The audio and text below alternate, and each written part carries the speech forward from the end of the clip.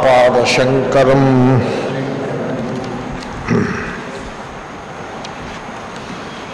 జ్ఞానం జ్ఞేయం పరిజ్ఞాత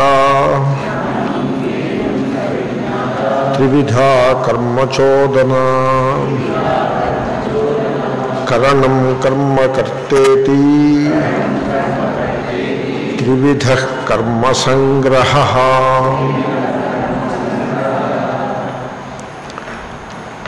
భాష్యకారుల అవతారిక అథేదానీ కర్మణం ప్రవర్తకం ఉచ్యతే. చూడండి మానవుని జీవితంలో కర్మ యొక్క స్థానము ప్రధానమైనది. దానిని మనం గుర్తెరిగి జీవితాన్ని ముందుకు తీసుకుపోవాలి. కర్మ సెకండరీ లెవెల్లో ఉంటుంది. ప్రధాన స్థానంలో అంటే ప్రైమరీ లెవెల్లో జ్ఞానం ఉంటుంది. మీరు చూసుకోండి ఎక్కడైనా మీరు చుట్టూ ప్రపంచాన్ని చూడండి. జ్ఞానం గొప్పదా కర్మ గొప్పదా మీరు చూసుకోండి. కర్మ చేసి వాడికి జీతం ఎక్కువ ఇస్తారా జ్ఞానం వాడికి జీతం ఎక్కువ ఇస్తారా చెప్పండి. జ్ఞానం దానికే జీతం ఎక్కువ ఉంటుంది. ఇప్పుడు రోడ్డు తవ్వేవాడికి జీతం ఎక్కువ ఉంటుందా రోడ్డు ఇంజనీర్కి జీతం ఎక్కువ ఉంటుందా? రోడ్డు ఇంజనీర్కే జీతం ఎక్కువ ఉంటుంది. ఆఫీసు విండోలను క్లీన్ చేసి వాడికి జీతం ఎక్కువ ఇస్తారా? లేకపోతే లోపల టేబుల్ దగ్గర కూర్చొని డిజైన్ చేసి వాడికి జీతం ఎక్కువ ఇస్తారా? కాబట్టి మనిషి జీవితంలో కర్మకి ప్రాముఖ్యం ఉంటుంది కానీ ముఖ్యమైనది జ్ఞానం. ఆ సంగతి మర్చిపోకూడదు. జ్ఞానానికి లోబడి కర్మ ఉండాలి. కర్మకి లోబడి జ్ఞానం ఉండకూడదు. కర్మకి లోబడి జ్ఞానం ఎక్కడైనా ఉందంటే అది ఆ స్థానానికి పతనం అని అర్థం. ఆ స్థానానికి అది పతన హేతు అవుతుంది. ఇప్పుడు కొన్ని చోట్ల ఎలా ఉంటుందంటే ఇక్కడ టెంపుల్ ఇక్కడ హాల్ ఇక్కడ లెక్చర్ హాలు ఉంటుంది. ఇక్కడ లెక్చర్ హాలు ఇక్కడ టెంపుల్ ఉంటుంది. ఆ టెంపుల్కి పూజారు ఉంటాడు లెక్చర్ హాల్లో పాఠం చెప్పేవాడు ఉంటాడు. అలా అలా అనుకోండి మీరు ఊహించండి. ఈ పూజారి ఈ పాఠం చెప్పేవాడిని శాసించడం ఎప్పుడైతే ప్రారంభిస్తాడో అది ఆ స్థానానికి పతనము అని అర్థం. పాఠం చెప్పేవాడు చెప్పిన చెప్పు చేతల్లో పూజారి ఎంతవరకు అయితే ఉంటాడో అంతవరకు ఆ స్థానము అభివృద్ధిలో ఉంటుంది. ఇటు పూజారి దేవాలయము ముందుకు పోతూ ఉంటుంది అటు విజ్ఞానము కూడా ముందుకు పోతూ ఉంటుంది. కాబట్టి జ్ఞానానికి ప్రముఖ స్థానం ఇచ్చి జ్ఞానము యొక్క కనుసన్నలలో కర్మ జీవితాన్ని మనం ముందుకు తీసుకువెళ్ళాలి. ఇది ఒక ప్రధానమైన విషయం. నెంబర్ వన్ నహి జ్ఞానేన సదృశం పవిత్రమిహ విద్యతే. మిమ్మల్ని సంసార బంధం నుంచి బయటపారేసేది జ్ఞానము తప్ప కర్మ కాదు. నిజానికి సంసార బంధంలోకి నెట్టివేసినదియే కర్మ. ఏది మనల్ని సంసార బంధంలో పడేస్తుందో అది మనల్ని సంసార బంధం నుంచి బయటికి ఎలా తీసుకొస్తుంది? జ్ఞానము బయటికి తీసుకొస్తుంది సంసార బంధం నుండి కర్మ సంసార బంధంలో పడవేస్తుంది. ఈ మౌలికమైన సత్యాన్ని మీరు గుర్తించాల్సి ఉంటుంది. చిత్రం ఏమిటంటే అంటే ఇవన్నీ అబ్జర్వేషన్స్ మీరు చూడండి పెద్ద పెద్ద ఉద్యోగాలు అవి చేస్తూ ఉంటారు. ఇంజనీర్లు డాక్టర్లు ప్రొఫెసర్లు.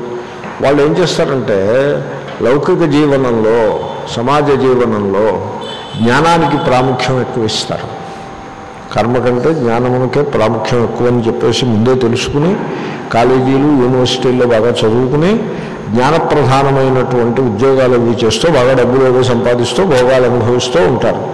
కానీ దేవుడి దగ్గరికి వచ్చేప్పటికీ జ్ఞానాన్ని పక్కన పెట్టి కర్మని ప్రాధాన్యం ఎక్కువ ఇస్తారు మీరు గమనించారా? సో మీకు సమాజ జీవనంలో లౌకిక జీవనంలో కర్మ కంటే జ్ఞానము గొప్పదైనప్పుడు ఆధ్యాత్మిక జీవనంలో జ్ఞానం కంటే కర్మ గొప్పది ఎలా అవుతుంది? ఆధ్యాత్మిక జీవనంలో జ్ఞానము అక్కర్లేని కర్మ అంటూ అలాగంటిది మనం పెట్టుకున్నామంటే అది అంతకంటే అవివేకం ఇంకేముంటుంది?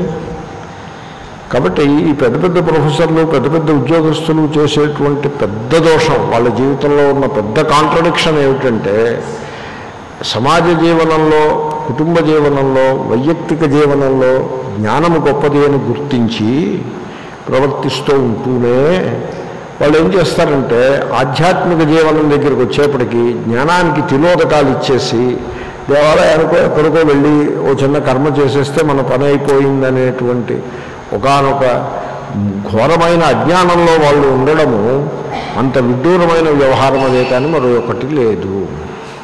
ఇది మనకు కనపడుతుంది అంచేతనే మీకు పెద్ద ప్రొఫెసర్ అయి ఉంటాడు పురోహితుడు ముక్కు పట్టుకుంటే ముక్కు పట్టుకుంటాడు. అంతే తప్ప అంతకు మించి ఏం చేయాలో తెలుసుకున్న వాడుగా ఉండడు.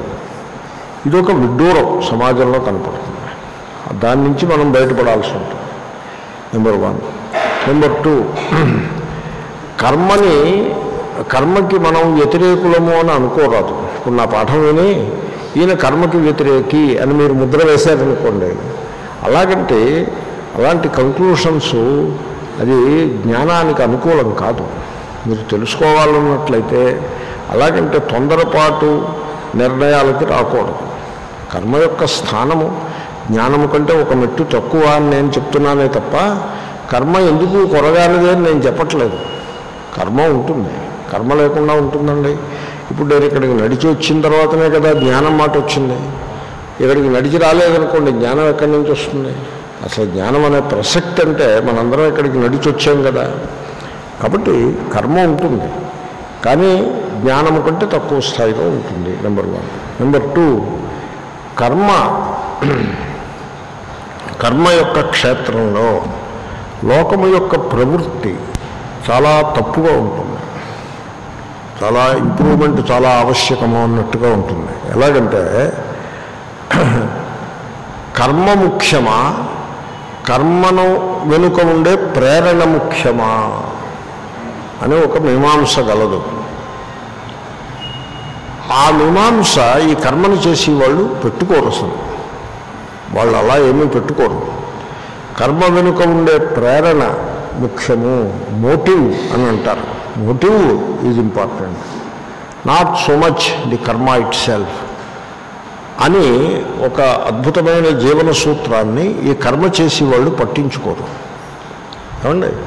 ఇప్పుడు మీరు లోకంలో మీరు చూడండి తిరుపతి వెళ్ళి దేవుణ్ణి దర్శించడం ముఖ్యమా? ఆ దర్శించడం వెనుక ఉండే ప్రేరణను పరిశీలించడం ముఖ్యమా అని ఎవరైనా అడిగి చూడండి మీరు. వాళ్ళని పరిశీలిస్తే మీకు ఏం తెలుస్తుందంటే ఎలాగో బస్సో రైలో కారు ఎక్కేసి తిరుపతి వెళ్ళిపోయి ఎదరవాళ్ళని తోసేసి వాళ్ళ అక్కడ క్యూలో ఎవడో రికమెండేషన్ పెట్టేసి డబ్బులు లంచం ఇచ్చేసి మొత్తానికి అక్కడికి వెళ్ళిపోయి ఆ బొమ్మను చూసి వచ్చేస్తే పని అయిపోతుందనే ధోరణే కనపడుతుంది తప్ప. అసలు తిరుపతి దర్శనమునకు ప్రేరణ ఇచ్చే మానసిక స్థితి is more important than that particular act itself అనే ధోరణ మీకు సమాజంలో ఎక్కడైనా కనపడుతుందా? కనపడదు. భగవద్గీతలో చెప్పిన సూత్రం ఏమిటంటే మౌలికమైన సూత్రము కర్మ ముఖ్యము కాదు కర్మ వెనుక ఉండే ప్రేరణ ముఖ్యము. ప్రేరణ కనుక ఫలమైనట్లయితే ఆ కర్మ నిన్ను బంధిస్తుంది. లోకంలో జనులు చేసే కర్మ వెనుక ప్రేరణ ఫల ఫలతృష్ణయే ఉంటుంది. ఇప్పుడు మీరు చిత్రం ఏంటంటే మాల్కి వెళ్ళారనుకోండి అక్కడ చాలామంది జనం వస్తారు. చాలా రష్గా ఉంటుంది. వాళ్ళందరూ దేనికోసం వచ్చారంటారు? భోగాసక్తితోటి అర్థాసక్తితోటి వస్తారు. అక్కడికి బిజినెస్ చేసుకునే వాళ్ళు డబ్బు సంపాదించడానికి వస్తారు. మనందరం డబ్బును ఖర్చు పెట్టి భోగాల కోసం మనం వెళ్తాం. కాబట్టి అక్కడ అర్థకామ ప్రసక్తి మాత్రమే మాల్లో ఉంటుంది. మీరు దేవాలయానికి వెళ్ళారనుకోండి అక్కడ మళ్ళీ జనం ఎక్కువ ఉంటారు. ఇప్పుడు మాల్లులో ఎలా అయితే రద్దీ ఉంటుందో మళ్ళీ దేవాలయంలో కూడా రద్దీగా ఉంటుంది. అక్కడికి వచ్చే జనులకి భక్తులు అని పేరు. ఈ భక్తుల యొక్క ప్రేరణ ఏ ప్రేరణతో దేవాలయానికి వచ్చారు అని మీరు చూసుకున్నట్లయితే కోరికలు తీరడం కొరకు ధనమును బాగా ఇంకా సంపాదిస్తున్న దానికంటే అధికంగా సంపాదించుట కొరకు ఈశ్వరుని యొక్క సహాయాన్ని అపేక్షించి దేవాలయానికి వస్తారు. అంటే ఏ అర్థకామ తృష్ణతో మాల్కి వెళ్తారో అదే అర్థకామ తృష్ణతో దేవాలయానికి వస్తారు. కర్మలో కొంత వికాసం వచ్చిన మాట వాస్తవం. అంటే ఏమిటి? మాల్కి సంధ్యాకాలంలో మాల్కి వెళ్ళే బదులు సంధ్యాకాలంలో దేవాలయానికి వచ్చాడు. ఆ మేరకు మనం ప్రశంసించదగ్గదియే. కానీ ఈ కర్మ వెనుక ఉండే ప్రేరణలో ఏమీ మార్పు రాలేదు. మాల్కి ఏ దృష్టితో వెళ్ళినాడో ఏ అర్థకామ దృష్టితో మాల్కి వెళ్ళినాడో అదే అర్థకామ దృష్టితోటి దేవాలయానికి కూడా వచ్చినాడు. మీరు ప్రేరణని పట్టించుకోకపోతే ఏమనిపిస్తుంది? మాల్కి వెళ్ళడం అన్నది లౌకిక చర్య పైగా తప్పు చర్యను కూడా అంటే అనొచ్చు. కొంతమంది చేతస్థం మనుషులు మాల్కి వెళ్ళడం తప్పును కూడా అనుకుంటారు. మాల్కు వెళ్ళి వచ్చి స్నానం చేయకుండా ఇంట్లో అడుగు పెట్టకూడదని కూడా అనుకుంటారు. దేవాలయానికి వెళ్ళడం పవిత్రమైన చర్య కర్మ అని కూడా అనుకుంటారు. కర్మకి కర్మను చూసి మీరు దాని క్వాలిటీని నిర్ధారిస్తున్నారే తప్ప కర్మ వెనుక ఉన్న ప్రేరణను చూసినట్లయితే మీరు మీ కంక్లూషన్స్ అన్నీ తప్పు అవుతాయి. మహాత్మా గాంధీ గారు మాట చెప్పేవారు. దేవాలయం ఉంది. దేవాలయం గోడని ఆనుకుని కాంపౌండ్ వాళ్ళని ఆనుకుని ఫుట్పాత్ ఉంది. ఫుట్పాత్ని ఆనుకుని రోడ్డు ఉంది. రోడ్డు మీద పొద్దున్నే ఆరున్నరకి మున్సిపాలిటీ వర్కర్ రోడ్డుని ఫుట్పాత్ని క్లీన్ చేస్తున్నాడు చీపురు పుట్టుకుని దేవాలయం లోపల పూజారి దేవుడి నిర్మాల్యం తీసేసి అభిషేకం అదో చేస్తున్నాడు. ఇవి రెండు కర్మలు ఆ రెండింటినీ ఆయన పోల్చారు. పోల్చి దీంట్లో ఏది పవిత్రమైనది? అని ప్రశ్న వేసుకుని రెండు సమానముగా పవిత్రమైనవి అని మొదటి మాట చెప్పారు. ఏమండి? మీరు మామూలుగా లోకంలో అడిగితే పూజారి చేసేది పవిత్రము వీడు చేసేది ఎందుకు కొరగాని పని చేసుకుంటున్నాడు వీడు అభాగ్యుడు అని చెప్తారు. వాడిని ముట్టుకుంటే స్నానం చేయాలని చెప్పినా కూడా మీరు ఆశ్చర్యపడక్కర్లేదు. పూజారిని ముట్టుకుంటే ఆయన స్నానం చేయాలి మీరు స్నానం చేయక్కర్లేదు. ఇలా ఉంటుంది. కాబట్టి గాంధీ గారు మొదటి మాట ఏం చెప్పారంటే రెండు కర్మలు సమానముగా పవిత్రమైనవి అని ఓ మాట చెప్పారు. రెండవ మాట పూజారి కోరికతో కనుక అభిషేకం చేస్తే వీడు కేవలము డ్యూటీ కాన్షియస్నెస్తో ఈ క్లీనింగ్ పని వీడు చేస్తే ఆయన చేసిన అభిషేకం కంటే వీడు చేసిన క్లీనింగ్ అత్యంత పవిత్రమైనది అని కూడా చెప్పారు గాంధీ గారు. ఎందుకని? రోడ్డు క్లీన్ చేయటము దేవుడికి అభిషేకం చేయడం కంటే ఎక్కువ పవిత్రమైనది అని ఎందుకు చెప్పారు ఆయన? కారణము ప్రేరణ. అతడు దేవుడి అభిషేకం వెనుక ఉన్న ప్రేరణ స- తన కామనలు తీరుట కోరికలు కొనసాగుట. ఇతగాడి యొక్క ప్రేరణ డ్యూటీ డ్యూటీని నిర్వహించుట. కర్మణ్యేవాధికారస్తే అని ఇతను చేస్తున్నాడు. మా ఫలేషు కదాచన అని శ్రీకృష్ణుడు ఏది చేయొద్దని చెప్పాడో అదే చేస్తున్నాడు అతను. కాబట్టి కర్మ వెనుక ఉన్న ప్రేరణను సరిగ్గా అర్థం చేసుకోవాలి. కర్మ ముఖ్యము కానీ కర్మ కంటే కర్మ వెనుక ఉన్న ప్రేరణ ముఖ్యము. ఏమండి? సో ఈ విషయాలన్నింటినీ కూడా పరిగణనలోకి తీసుకుని మనం కర్మ మార్గంలో ముందుకు నడవాల్సి ఉంటుంది.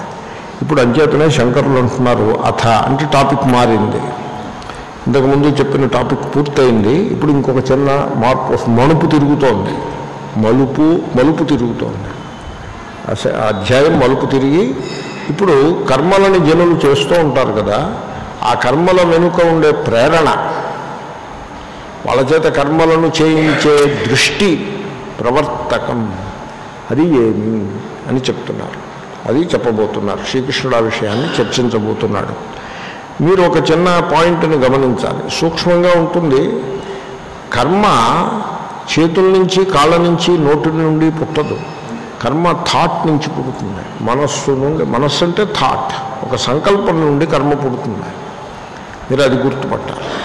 కాబట్టి పుట్టిన తర్వాత కర్మ యొక్క మంచి చెడ్డలను ఎలాగ వ్యాఖ్యానం చేస్తాము?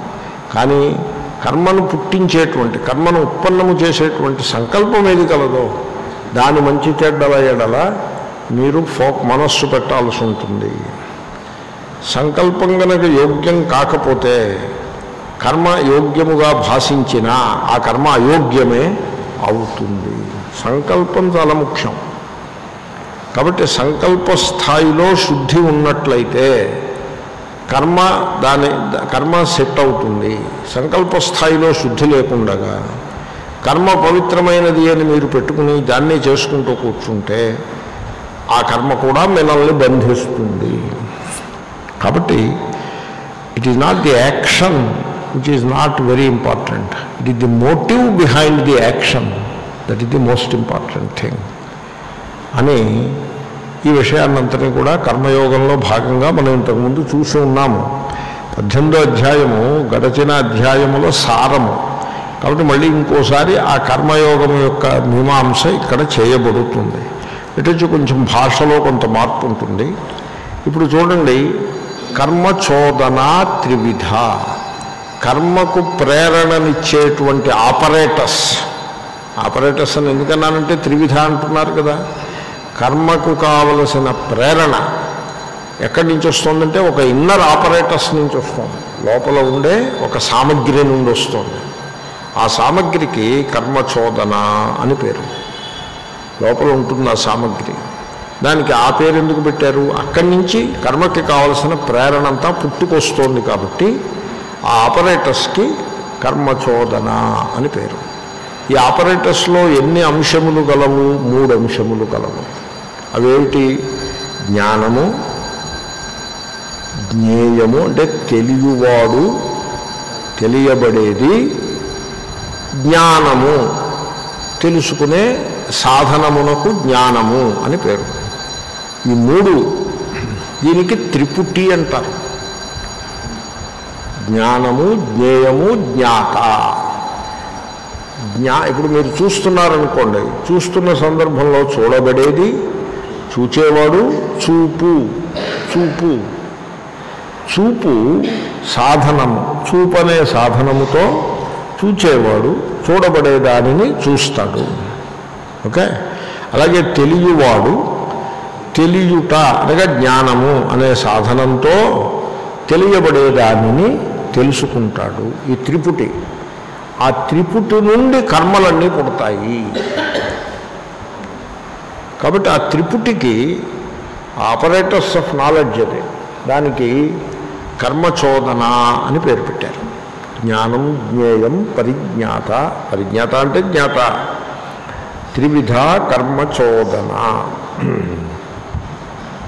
ఇప్పుడు మీకు దాహం వేస్తుంది. అది తెలుస్తుంది. దాహం వేస్తే తెలుస్తుంది. అప్పుడు మంచినీళ్ళు తాగుతారు. కాబట్టి దాహము తెలిస్తే మంచినీళ్ళు తాగుతారు. దాహం తెలియలేదనుకోండి మంచినీళ్ళు తాగడం అనే చేష్ట ఉండదు. దేహములో నీరు యొక్క పర్సంటేజ్ తగ్గిపోతే అది దేహానికి చాలా హాని డీహైడ్రేషన్ చాలా హాని. అంచేత నీళ్ళు మనం పోస్తూ దాన్ని మళ్ళీ బ్యాలెన్స్ సరిచేయాల్సి ఉంటుంది. దాహం అనేది భగవంతుడు పెట్టలేదనుకోండి మీకు దేహంలో డిహైడ్రేషన్ వచ్చేస్తుంది నీటి శాతం తగ్గిపోయిందనే సమాచారం తెలిసే అవకాశం లేదు. నీరు ఎప్పుడు తాగాలో తెలియకుండా అయిపోతుంది. కాబట్టి దాహం అనేది ఏమిటంటే ఒక సిగ్నల్ నీటి పర్సంటేజ్ తగ్గింది నీరు త్రాగు అని సిగ్నల్ కాబట్టి నీరు త్రాగుట అనే చేష్టకి దాహము తెలియట. తెలియబడేది దాహము తెలుసుకునేవాడు నేను దాహము తెలియ తెలుస్తోంది. బ్రెయిన్ సెల్స్ యొక్క ఒకనొక మూమెంట్ ద్వారా దాహము తెలుస్తోంది. దాన్ని జ్ఞానము అంటారు. దాహం తెలుస్తోంది జ్ఞానము. తెలియవాడను నేను. తెలియబడేది దాహము. ఈ జ్ఞానము జ్ఞేయము జ్ఞాత. ఈ మూడింటి సమన్వయము ఉండబట్టే వీడు మంచినీళ్ళు తాగగలిగినాడు.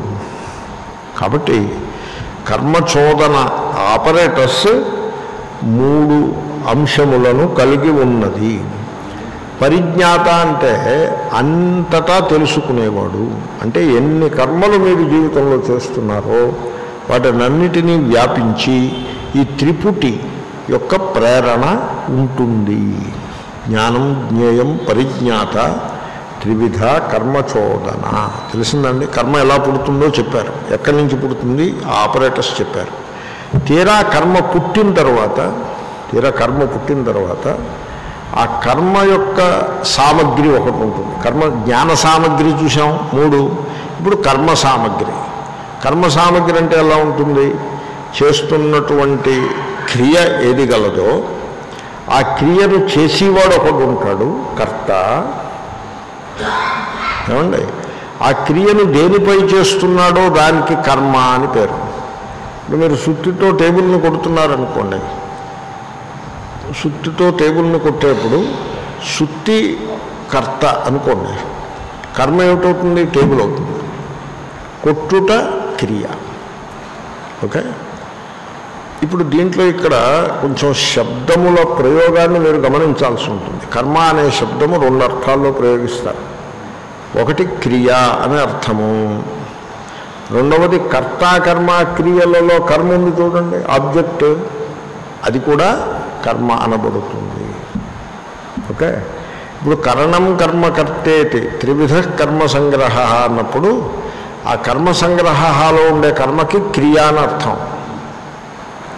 కరణం కర్మ కర్తేతి అన్నప్పుడు కర్మకి కర్మ. కర్తాకర్మ క్రియ ఎరుగుదరు కదా? కర్మ అని అర్థం. రాముడు రావణుని సంహరించను అని ఉందండి. దీంట్లో కర్మ ఎవరు? రావణుడు. రావణుడు కర్మ. కర్త ఎవరు? రాముడు. క్రియ ఏమిటి? సంహరించుట. ఓకే? ఒకప్పుడు ఆ క్రియని కూడా కర్మ అంటూ ఉంటారు. క్రియను కూడా కర్మ అన్నారనుకోండి కొంచెం మరి వినగానే మీరు పట్టుకోవాల్సి ఉంటుంది. అప్పుడు నేను ఏమనాల్సి ఉంటుంది? సంహరించుట అనే కర్మయందు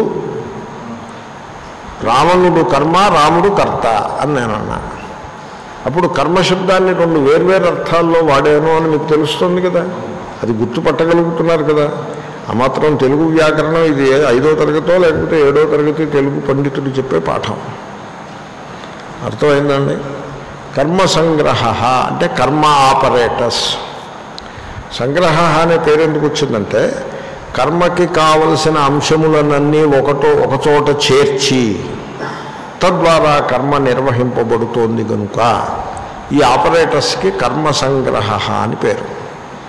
ఈ ఆపరేటర్స్లో ఏం ఎన్ని అంశములు ఉంటాయి? మూడు అంశములు ఉంటాయి. ఒకటి కర్త రెండు కర్మ. కర్మ అంటే క్రియ కాదు. కర్మ అంటే ఆ కర్మ కాదు. కర్తాకర్మ దా ఆ కర్మ. మూడవది కరణము. ఇప్పుడు మళ్ళీ చూడండి రాముడు రావణుని ఆగ్నేయాస్త్రముతో వధించను. దీంట్లో క్రియ ఏమిటి? వధ. దాన్నే కర్మ అని కూడా అనొచ్చు. కర్త ఏమిటి? రాముడు. కర్మ ఏమిటి? రావణుడు. కరణమేమిటి ఆగ్నేయాస్త్రము. కరణము అంటే పనిముట్టు. దేంతో ఆ కర్మను చేస్తా ఆ క్రియను మీరు చేస్తారో ఆ పనిముట్టుకి కరణము అని పేరు. సరిపడిందండి? కాబట్టి కర్త కర్మ కరణము అనే మూడు కలిసి మీకు కర్మ సంగ్రహం అవుతుంది. ఒక ఆయన సుత్తి పట్టుకు తిరుగుతున్నాడు.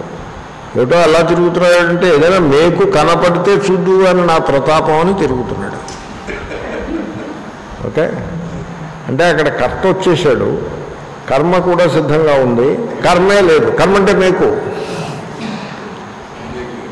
కొట్టడం అనే పనికి సిద్ధంగా ఉన్నాడు. కొట్టే పని అది కూడా సిద్ధంగా ఉంది.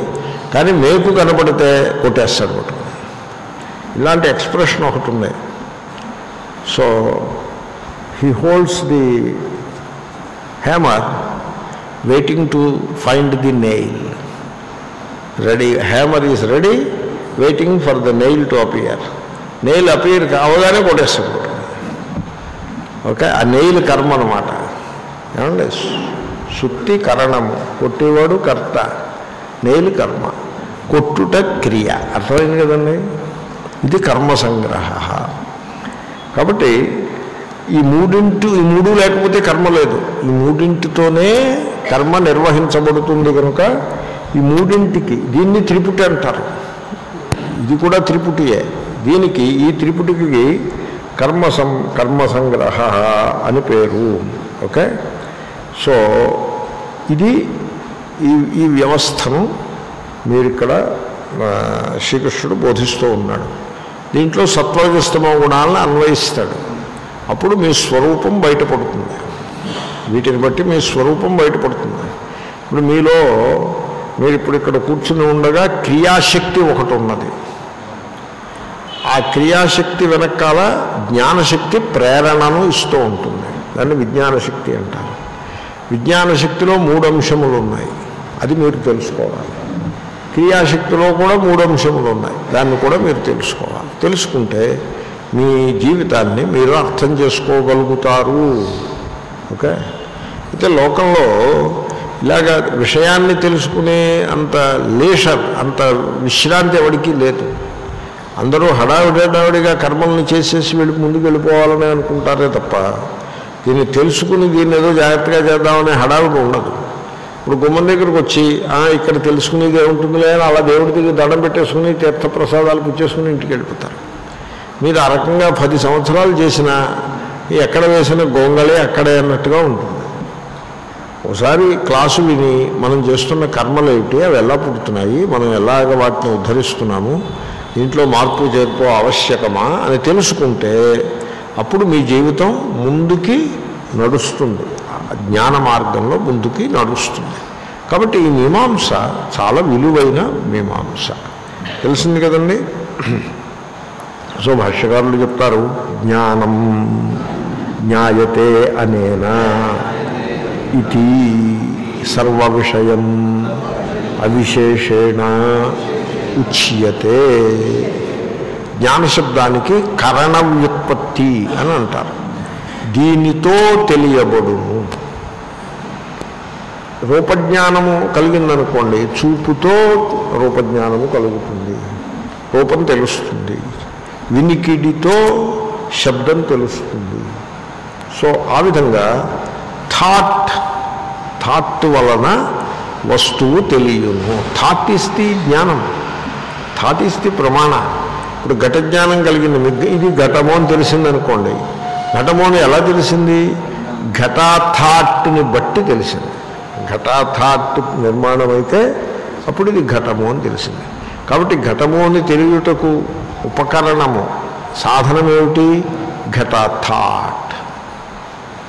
ఓకే? ఘట థాట్. ఇప్పుడు మీ థాట్ ఇక్కడ లేదనుకోండి ఎక్కడో ఉందనుకోండి థాట్ అది ఘటము అని తెలియదు. కన్ను చూస్తున్నా ఇది ఘటము అని తెలియదు. థాట్ ఎక్కడో ఉంటాయి థాటు కన్ను చూపుకి థాట్ జత జతగూడిందనుకోండి ఇది ఘటము అని తెలుస్తుంది. కాబట్టి తెలియబడేది ఘటము తెలియవాడను నేను తెలుసుకునే ఉపకరణము థాట్. థాట్కి జ్ఞానము అని పేరు ఇక్కడ. జ్ఞానము అంటే ఆత్మజ్ఞానం కాదు. సచ్చిదానంద ఆత్మజ్ఞానం ఏమీ కాదు. ఉడికే థాట్. మొత్తం ఈ సృష్టిలో మీకు ఎన్ని తెలిసినా థాట్ ద్వారానే తెలుస్తాయి. సర్వ విషయం. ఎన్ని విషయాలు తెలుస్తాయి అన్నీ కూడా థాట్ ద్వారానే తెలుస్తాయి. ఒకటి తెలియడానికి ఇంకొకటి తెలియడానికి తేడా ఏమీ లేదు. రెండు కూడా థాట్ ద్వారానే తెలుస్తాయి. ఇది ఘటము. దేనివల్ల తెలిసింది? థాట్ వల్ల తెలిసింది. ఏమండి? వీడు మనిషి. ఎలా తెలిసింది? థాట్. వీడు మిత్రుడు. థాట్. వీడు శత్రువు. థాట్. వీడు దేవుడు. లేకపోతే ఇది దేవుడు. అది ఎలా తెలిసింది? థాట్. థాట్ వల్ల తెలిసింది. అంచేతనే ఒక విషయాన్ని లోతుగా పరిశీలిస్తే కొంతమందికి అది నచ్చదు. దానికి మనం ఏం చేస్తాం? పరిశీలించడం మానేమంటే మానేయచ్చు అదేం పెద్ద పని మీరు పరిశీలించవద్దు పరిశీలించడానికి వీలు లేదు అని మీరు ఒక ఆజ్ఞని జారీ చేశారనుకోండి ఓకే. మీరు ఇక్కడికి వచ్చి ఇలా పరిశీలనలో పెట్టద్దు మీరు రావద్దు ఓకే. మీరు వచ్చినా అలాగే ముద్దపప్పులో కూర్చోండి తప్ప పరిశీలనలు ఏం చేయొద్దు. ఆల్ రైట్ కాదు మీరు పరిశీలించండి. మరి అయితే మీరు ఓపెన్ మైండ్తో ఉండాల్సి ఉంటుంది. కదా?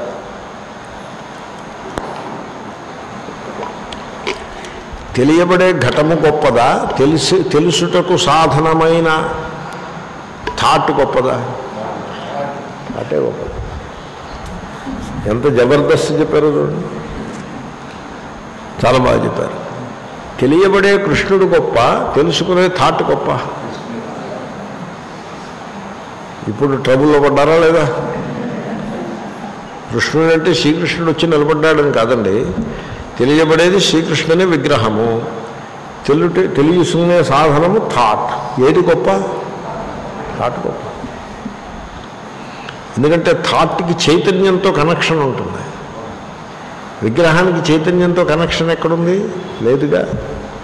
అందుకోసమే ఆ విగ్రహానికి ఎలాబరేట్గా చైతన్యం కనెక్షన్ పెట్టాల్సి ఉంటుంది.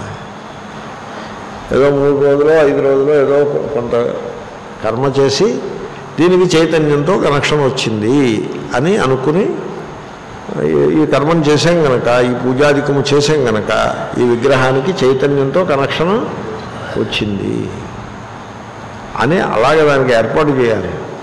చూసేవాడికి ఏ ఏర్పాటు చేయక్కర్లా ఇప్పుడు కృష్ణుడు విగ్రహం పెట్టారనుకోండి ఆ కృష్ణుడి విగ్రహాన్ని ఓ రోజు ధాన్యంలో పడుకోబెట్టాలి.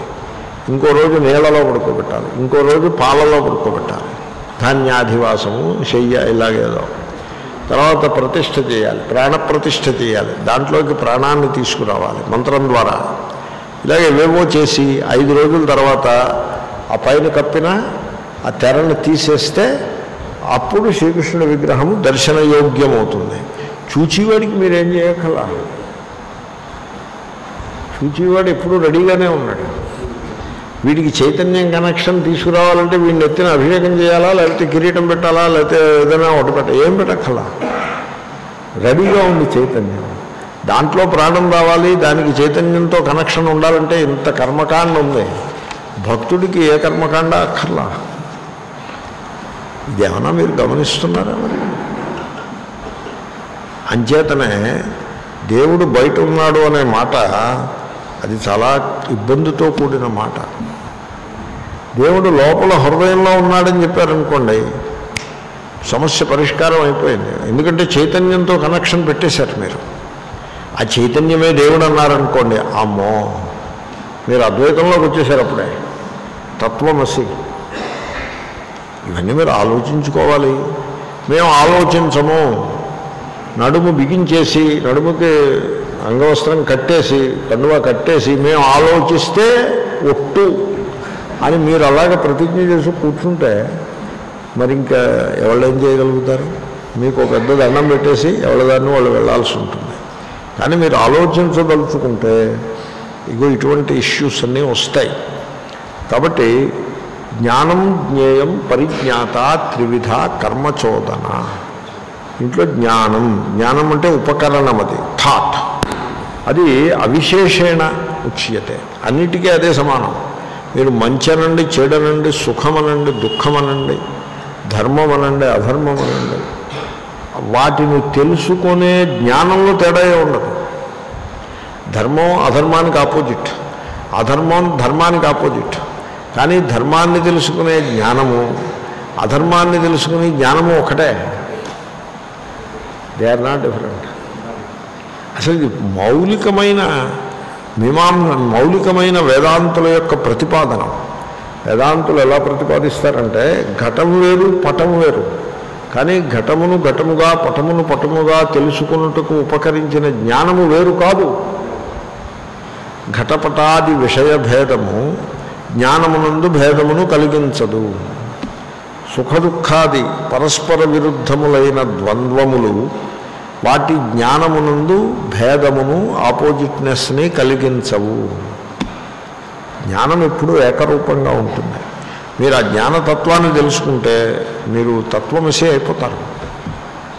కాబట్టి thought thought is the instrument the means by which you know everything సర్వ విషయం అవిశేషేణ ఉచ్యతే జ్ఞానం థాట్ దగ్గర తేడా ఏముండదు. It is the same thought same thought అంటే same thought operators same mind ఇప్పుడు శత్రువుని చూసి మైండు మిత్రుణ్ణి చూసి మైండు ఒకటే. దేవుణ్ణి చూసి మైండు బయట మురికి కూపాన్ని చూసి మైండు ఒకటే. ఇన్ని మైండ్ రాక్షసుడిని చూసి మైండు దేవతను చూసి మైండు ఒక్కటే. అంచేతనే అవిశేషేణ దాంట్లో తేడా ఏమీ లేదు. తథా జ్ఞేయం జ్ఞాతవ్యం. తెలియదగ్గది అని అర్థం జ్ఞేయం అంటే జ్ఞాతవ్యం తెలియదగ్గది. అంటే అదేమిటి? తదపి సామాన్యేనైవ సర్వముచ్యతే. తెలియబడ్డది అంటే ఏదైనా కావచ్చు. కాదండి మేము ఆశ్రమంలో కూర్చున్నాము. తెలియబడ్డదంటే పేక ముక్కలు లేకపోతే మద్యపానము మ- మద్యములు మాంసములు ఇవి తెలియబడే వాటిల్లో వాటిని లెక్క పెట్టమేమో అని అనకూడదు. అవి కూడా తెలియాలి కదా. అన్నీ తెలుస్తాయి. తెలిస్తే కదా దూరం పెట్టేది. తెలియలేదనుకోండి దూరం పెట్టడం కూడా కష్టమవుతుంది. కాబట్టి నేను ఏదో చెప్పాను దృష్టాంతం. తెలియబడేది ఏది ఫలానా అనేమీ లేదు ఇక్కడ. ఇక్కడ ఫలానా తెలియబడేది అనేమీ లేదు. అది మంచి కావచ్చు చెడు కావచ్చు. ధర్మానికి సంబంధించింది కావచ్చు అధర్మానికి సంబంధించింది కావచ్చు. ఏదైనా తెలియవాని చేత తెలియబడేది ఏదైనా జ్ఞేయం అని చెప్పబడుతుంది. చాలా జనరల్ డిస్క్రిప్షన్ ఇది. అంతేగాని పర్టికులర్గా ఏదో మంచి విషయాలు మాత్రమే మనం చెప్పుకోవాలి అన్నట్టేమీ లేదు. అలాగేమీ ఉండదు. అన్ని విషయాల్ని మనం పరిశీలించుకుంటాం. తథా పరిజ్ఞాత ఉపాధిలక్షణ అవిద్యాకల్పితో భోక్త. తెలియవాడు తెలియవాడు అనేవాడు చూడండి తెలియవాడు. ఈ జ్ఞాత తెలియవాడు. ఈ తెలియవాడు ఎలా ఉంటాడంటే ఒక ఉపాధితో వస్తాడు. ఒక ఉపాధితో వస్తాడు. ఇప్పుడు ఫ్యాన్ అన్నారనుకోండి ఫ్యాన్లో ఉండే ఎలక్ట్రిసిటీ సర్వత్రా సమానంగా ఉంటుంది. కానీ ఫ్యాన్ అనే ఉపాధి ఏది గలదో అది ఇతర ఫ్యాన్లన్నిటికంటే సెపరేట్గా ఉంటుంది. ఏమండి? ఇప్పుడు దీపాలు ఉన్నాయనుకోండి ఇక్కడ పది పది బల్బులు వెలుగుతున్నాయి. పది బల్బుల్లో ఉండే ఎలక్ట్రిసిటీ ఒకటే కానీ పది బల్బులు వేరు వేరు. పది బల్బులలో ఉండే ప్రకాశము కూడా వేరు వేరు. కాబట్టి ఒకే ఎలక్ట్రిసిటీ పది బల్బులలో పది ప్రకాశములుగా ఎలా అయిందంటారు? అంటే ఉపాధిని బట్టి అయింది. పది బల్బుల ఉపాధిని బట్టి అయింది. ఉపాధి అంటే మీడియం. కాబట్టి ఒకే ఎలక్ట్రిసిటీ పది బల్బులలో ప్రవేశించి ప్రకాశిస్తుంటే పది వేర్వేరు ప్రకాశములుగా భాషిస్తుంది అవడం ఒకటే. కానీ పది వేర్వేరుగా భాషిస్తుంది దీన్నే ఉపాధి అని అన్నారు.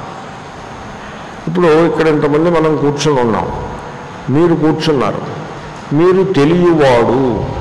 మీ లోపల తెలుసుకునే పనిముట్టు మనస్సు గలదు. నేను తెలియవాడను నా లోపల తెలుసుకునే మనస్సు అనే పనిముట్టు గలదు. మనం ఒకటా వేరువేరా అంటే తెలుసుకునేవాడు తెలుసుకునే పనిముట్టు అనే ఉపాధిని బట్టి మనం వేరువేరుగా ఉంటాం. ఉపాధిని బట్టి. ఉపాధిని స్వీకరిస్తే నేను తెలియవాడను వేరు మీరు తెలియవాడు వేరు. వీటిని సైలోస్ అంటారు. సైలో అనే మాట విన్నారు ఎప్పుడైనా? సైలో అంటే ఇలా పొడుగ్గా సిలిండ్రికల్గా ఉంటుంది. దాని లోపల ధాన్యములు ఈ ధాన్యములు అవి దాచుకుంటారు. ఇప్పుడు రెండు మూడు సైలోస్ పక్క పక్కన ఉన్నాయనుకోండి అన్ని సైలోస్ వేరువేరుగా ఉంటాయి. సైలోస్ సపరేట్గా ఉంటాయి. ఏమండి? వాటి లోపల పోసింది ఏదైనా అవనివ్వండి అవి సపరేట్గా ఉంటాయి. అలాగే మనందరం కూడా మనం సైలోస్ లాంటి వాళ్ళం. మనిషి చూడండి ఎలా ఉన్నాడో ఒక శైలోలాగా లేడు. ఓ సిలిండ్రికల్గా కొంతమంది కొంచెం దిట్టంగా ఉన్నప్పుడు సిలిండ్రికల్గా ఉన్నట్టు తెలుస్తూనే ఉంటుందిగా. ఆ సిలిండర్ వెళ్ళిపోతూ ఉంటుంది. ఆ సిలిండర్ లోపల ఏముంది? జ్ఞానము జ్ఞాత ఉన్నారు. కదండి? జ్ఞానము జ్ఞాత లేరు మరి. అర్థమైందండి? మీ లోపల తెలియవాడు గలడు. ఇంకొక సూక్ష్మమైన విషయాన్ని మీరు గమనించాలి. దీన్ని శంకరులే చెప్పినట్టు కనపడుతుంది నాకు. మిగతా ఆచార్యుల వాళ్ళు దీన్ని పసిగట్టి చెప్పినట్టు కనపడదు. ఎవరైనా చెప్తే శంకరుల యొక్క పాఠం విని చెప్పు ఉండాలి తెలియవాడికి భోగించువాడికి తేడా లేదు అని శంకరులు అనేక పర్యాయాలు చెప్పారు. ఎవడు తెలియవాడో వాడే భోగించువాడు. ఇప్పుడు మీకు రుచి తెలుస్తుందా? మీరు రుచిని భోగిస్తారా? రుచిని తెలుసుకుంటారా? రుచిని భోగిస్తారా? రుచిని అనుభవిస్తారా? అంటే అదే ఇదయ్యా ఇదే అది అదే ఇది. రుచి తెలిసింది. రుచి నాకు బాగా అనుభవానికి వచ్చింది. ఈ రెండింట్లో తేడా ఏమిటి? ఏమీ లేదు. తెలియడమే. భోగించుట అనగా తెలియుటయే. ఎయిర్ కండిషనర్ని మీరు భోగిస్తున్నారనుకోండి ఎంజాయ్ చేస్తున్నారనుకోండి భోగించడం అంటే సంస్కృతం ఇంగ్లీష్లో ఎంజాయ్ అంటారు. ఎయిర్ కండిషన్ని మీరు ఎంజాయ్ చేస్తున్నారనుకోండి ఎయిర్ కండిషనర్ ఎంజాయ్ చేయడం అనగా ఏమి? అంటే స్పర్శతోటి ఆ బయట ఏర్పడిన చల్లదనాన్ని తెలియట. కంటితో సినిమాని ఎంజాయ్ చేస్తున్నారనుకోండి అంటే ఏమిటి? కంటితో సినిమాని తెలియట. ముక్కుతో గంధమును ఎంజాయ్ చేస్తున్నారనుకోండి. అంటే ముక్కుతో గంధమును తెలియట. చెవితో శబ్దాన్ని ఎంజాయ్ చేస్తుంటే అంటే చెవితో శబ్దమును తెలియట. మనస్సుతో సుఖమును ఎంజాయ్ చేస్తున్నారంటే మనస్సుతో సుఖమును తెలియట. దుఃఖమైన అంతే. కాబట్టి ఏది తెలియటయో అది ఏ అనుభవించుట లేక భోగించుట. అంచేతనే భోక్తృత్వం నామ ఉపలబ్ధృత్వం అని శంకరులు అనేక పర్యాయాలు చెప్పారు. తెలియుటయే భోగించుట. ఇంకో చోట ఏమన్నారు? ఉప భోక్త ఉపలబ్ధ. ఎవడు తెలుసుకుంటున్నాడో వాడే భోక్త. ఆ మాటే అంటున్నారు ఇక్కడ? అదే అంటున్నారు. పరిజ్ఞాత అంటే తెలుగువాడు తెలుగువాడంటే ఒక శైలో. సెపరేట్గా ఉన్నట్లు మనకు అనుభవానికి వస్తాడు. ఎందుకల్లా అనుభవానికి వస్తున్నాడంటే ఉపాధిని బట్టి ఉపాధి లక్షణ. ఉపాధియే లక్షణముగా గలవాడు. ఇప్పుడు నేను తెలియవాడను నా గురించి ఏమైనా ఒక మాట చెప్పండి. నాకు లక్షణం ఏమిటో చెప్పండి మీరు. లక్షణం ఏమిటంటే ఏదో మీడియం సైజు ఉన్నాడు ఫైవ్ ఫీట్ ఎయిట్ ఇంచ్ ఉన్నాడు. ఈ తెలుగువాడు ఫైవ్ ఫీట్ ఎయిట్ ఇంచ్ ఉన్నాడు అని మీరు చెప్తారు. ఈ తెలియవాడిని ఫోటో తీయండి అంటే ఫోటో తీస్తారు. మీరు ఫోటో తీస్తున్నది తెలుగువాడి యొక్క ఉపాధిని కదా. ఉపాధిని బట్టి వచ్చిందంతాను. కాబట్టి ఉపాధియే లక్షణముగా గలవాడే తెలియవాడు. అంచేతనే శైలో ఓ శైలో ఓ సిలిండరు. ఓకే ఉపాధియే లక్షణముగా కలవాడు అయితే ఉపాధి అంటే ఏమిటో తెలుసునండి ఇది నేను అని మీరు ఏదనుకుంటారో దానిని ఉపాధి అంటారు. ఇది నేను. దీన్ని ఐడెంటిటీ అని అంటారు ఇంగ్లీష్లో. సంస్కృతంలో వేదాంతంలో అధ్యాస అని అంటారు. మీరు తెలుసుకుంటున్నారు అంటే ఆ ఉపాధితోటి మీకు ఐడెంటిఫికేషన్ ఉండాలి. లేకపోతే మీరు తెలుసుకోలే మీరు తెలుసుకోవడం అన్నది ఉండదు. ఉపాధి ఐడెంటిఫికేషన్ ఉండాలి. ఇప్పుడు నిద్రలో ఉపాధి ఐడెంటిఫికేషన్ ఉండదు. అంచేతనే నిద్రలో మీకు విశేష జ్ఞానములేమీ ఉండవు. ఇప్పుడు నిద్ర లేస్తూనే మగవాడు నేను మగవాడను అనే విధంగా నిద్రలేస్తాడు. స్త్రీ నేను స్త్రీ అనే విధంగా నిద్రలేస్తుంది. పిల్లవాడు నేను పిల్లవాడననే విధంగా నిద్రలేస్తాడు. ముసలివాడు నేను ముసలివాడననే విధంగా నిద్రలేస్తాడు. అవునండి అంటే ఆ ఐడెంటిటీ ఎక్కడి నుంచి వచ్చిందంటారు? ఉపాధి ఉపాధి ఐడెంటిఫికేషన్ అది. ఉపాధి ఐడెంటిఫికేషన్ వీడు పెద్ద ఆయన నిద్రలేస్తూనే ఏమిటో తెల్లారింది ఇంకా నిద్ర లేవాలి. ఒళ్ళు నొప్పులుగా ఉందంటూ నిద్రలేస్తాడు అది ఏమిటంటారు అది ఉపాధి. కుర్రాడు నిద్రలేస్తూనే జంప్ చేసి ఇంకా కబడ్డీకి పరిగెత్తుకు వెళ్ళిపోవాలి లేకపోతే బయటికి వెళ్ళిపోవాలని పరిగెత్తుకుంటూ లేస్తాడు. అది ఉపాధిని బట్టి. పురుషుడైనా కావచ్చు స్త్రీ అయినా కావచ్చు. కాబట్టి ఎవడు తెలియవాడో వాడు ఉపాధితో తాదాత్మ్యాన్ని ఐడెంటిటీని కలిగి ఉంటాడు. ఉపాధి ఐడెంటిటీ ఉంటుంది. నిద్రలేస్తూనే ఇవాళ తొందరగా ఆఫీస్కి వెళ్ళాలని మీరు అనుకున్నారనుకోండి నేను ఆఫీసర్ని అనే ఒక ఐడెంటిటీతో నిద్రలేచారు కదా మరి? నిద్రలేస్తూనే భార్యని పిలిచి కాఫీ తయారైందా అని అడిగారనుకోండి నేను భర్తను. ఇది కాఫీ తాగేదేమో అనే ఐడెంటిటీతో మరి మేము నిద్రలేచినట్టే తెలిసి అనిపించింది కదా. కాబట్టి ఉపాధితో వీడు ఎప్పుడూ ఐడెంటిఫై అయి ఉంటాడు. ఆ ఉపాధి ఎంతో వీడు అంతే అయి ఉంటాడు. మరి ఈ విధంగా ఉపాధితో ఐడెంటిఫై అవ్వడము అది తెలివితేటలా అజ్ఞానమా? అజ్ఞానం. మీ ఐడెంటిటీ ఉపాధి యొక్క ఐడెంటిటీ కాదు. తత్వమసి అంటే అర్థం అదే. ఇప్పుడు మీ ఐడెంటిటీ ఏమిటి? మీ ఐడెంటిటీ ఏమిటి? అంటే మీ ఐడెంటిటీ దేహమునకు పరిమితమై ఉన్నది. ఈ దేహం అనే శైలోకి ఫిక్స్ అయిపోయి బౌండరీ వచ్చేసింది మీ ఐడెంటిటీకి. నా ఐడెంటిటీ ఇదిగో ఈ శైలో ఎంతో అంతే అనే బౌండరీ ఏమైపోయింది ఇప్పుడు ఈ ఉపాధి? ఐడెంటిటీకి బౌండరీ అయిపోయింది.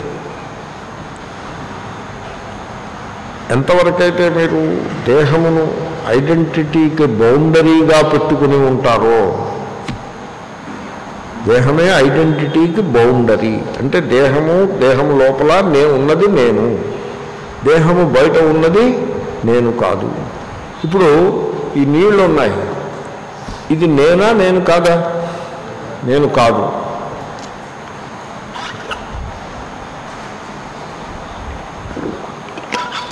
ఇప్పుడు ఆ నీళ్ళు ఏమిటి నేనా? నేను కాదా? నేను.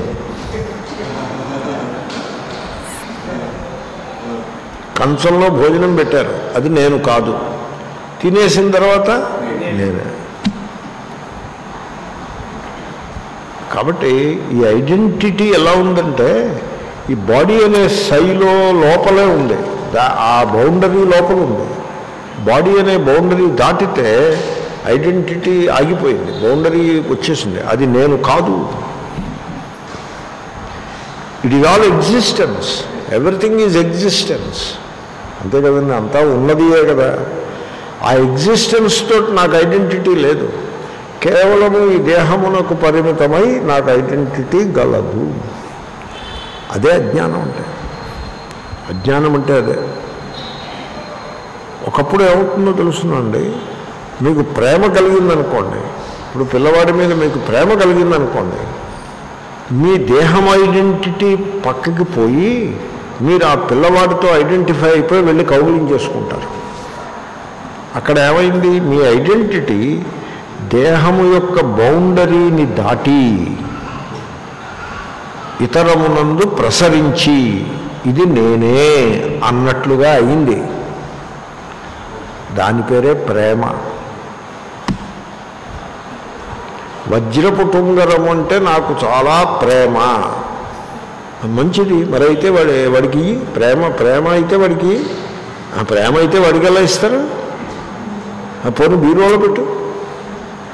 అదేమిటి ప్రేమ అయితే బీరువాలో ఎలా పెడతారు? నా వేలుకు పెట్టాలి. అంటే నాకంటే బయట ఉంటే అది ఐడెంటిటీలో భాగం కాకపోతే ప్రేమ అనే మాటకు అర్థం లేదు. కాబట్టి అంచేతనే లవ్కి డెఫినేషన్ చెప్పారు. రవీంద్రనాథ్ ఠాగూర్ చెప్పారు. Love is unity in diversity. నేను వేరు అది వేరు అనే భేదంలో ప్రేమ ఉండదు. ఆ భేదం అలా ఉంటుండగానే ఏకత్వం కనుక వస్తే దానికి ప్రేమ అని పేరు. అంచేతనే దీనికి ఉపనిషత్తులో దృష్టాంతం చెప్పారు. ఉపనిషత్తులో చెప్పిన దృష్టాంతం. పురుష సంపరిష్వక్త అనే దృష్టాంతాన్ని చెప్పారు. ప్రియుడు ప్రియురాలిని అని చెప్పారు. ఇప్పుడు భర్త భార్య అనలేదు. భర్త భార్య అంటే మళ్ళీ దానికి బోల్డ్ అనే లక్షణాలు వస్తాయి. అది వర్కౌట్ అవ్వచ్చు కాకపోవచ్చు. ప్రియుడు ప్రియురా ప్రియయా సంపరిష్వక్త. ప్రియుడు ప్రియురాలను కౌగులించుకుంటాడు. ఆ కౌగులించుకున్నప్పుడు నేను నాకంటే ఇతరమైన దానిని కౌగులించుకుంటున్నాననే ఉండదు అలాగా ఇంతవరకు నేను ఇక్కడి నుంచి నేను కానిది అని ఉండదు.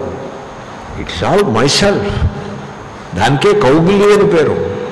కౌగులు అనగా అర్థం ఏంటి?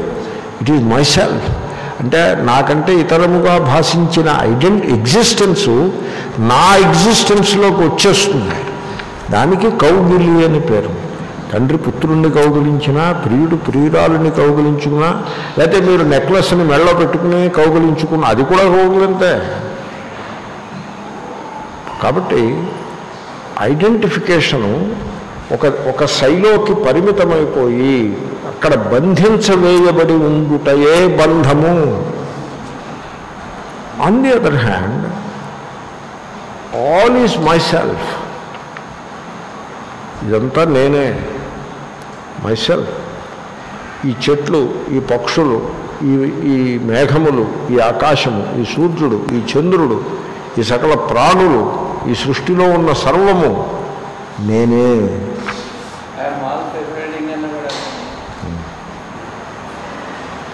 ఈ సర్వము నేనే. దిస్ ఈజ్ ట్రూత్ అది సత్యం.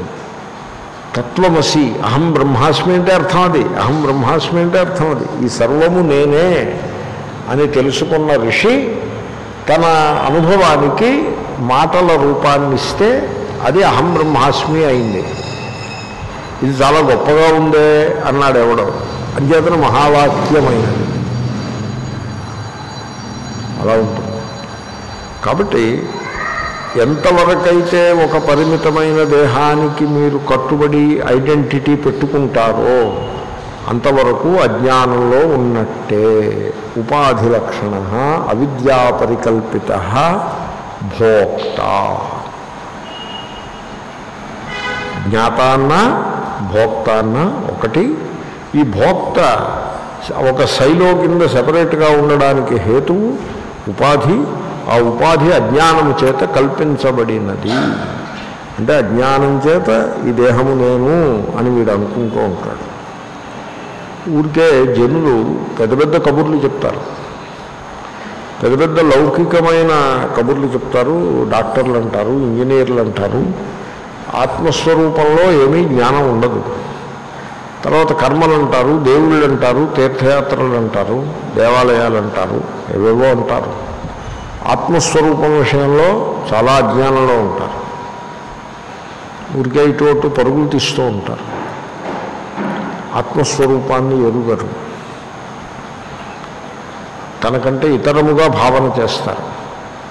మోకో కహా ఢూంఢేరే బందే మైతో తేరో పాస్మే అని కబీర్ దాస్ అంటాడు. నా కోసం నువ్వు ఎక్కడో వెతుకుతున్నావు. అంటే నేను వేరు నువ్వు వేరు అనే భేద బుద్ధితో వెతుకుతున్నావు కదా నేను నీకు సమీపంలోనే ఉన్నాను నీయందే ఉన్నాను. అని. నా తీరథమే నా మంత్రమే నా క్రియాకలాపమే నా కాశీమే నా కాబూమే అంటూ ఏదేదో చెప్తాడు ఆయన. ఆ కీర్తన మీరు వినుంటారు కబీర్ దాస్ కాబట్టి సర్వము నేనే అనేది పరమసత్యము. ఈ పరిచ్ఛిన్నమైన దేహమునకు కట్టుబడి ఉన్నవాడను నేను అని అక్కడ తెలిసిందే తెలియవాడను అక్కడ భోగించిందే భోగించువాడను అనేవాడు ఒకడు ఉంటాడు. వాడికే జ్ఞాత లేదా భోక్త అని పేరు. అర్థమైందండి? ఇప్పుడు ఆ జ్ఞానము అది భాష్యకారులు మెన్షన్ చేశారు కాబట్టి నేను మీకు విస్తారంగా చెప్పాను. మళ్ళీ వెనక్కి వచ్చేద్దాం. ఆ విజ్ఞాన శక్తి మూడు రకముల ఆపరేటర్స్ ఏది కలదో అది ఏ సకల కర్మలకు ప్రేరకము అనే విషయాన్ని చెప్తున్నారు. ఇత్యేతత్రయం. ఈ మూడు మూడు అంటే జ్ఞాత జ్ఞేయం జ్ఞానం. ఈ మూడు త్రిపుటి. ఏషాం అవిశేషేణ. సర్వకర్మణం ప్రవర్తిక త్రివిధ త్రిప్రకార కర్మచోదనా. ఇదండి ఈ మూడు రకముల మూడు సా మూడింటి యొక్క కలయిక ఈ సామగ్రి. ఇది ఈ త్రయము. ఈ మూడు కలిపి ఒకటి కింద పెట్టుకుంటున్నాం. ఈ మూడు కలిపి దీనికి ఒక పేరు మనం పెట్టచ్చు. ఏమని? కర్మచోదన. ఎందుకని? సకల క్రియలు అవిశేషేణ తేడా లేకుండా. మంచి చెడు. అంటే గీతలో చెప్పారు కాబట్టి మంచి కర్మల కోసమే ఉపయోగిస్తుంది ఇది అని మీరు అనుకోద్దు. ఒకడు లంచం పుచ్చుకుంటాడు.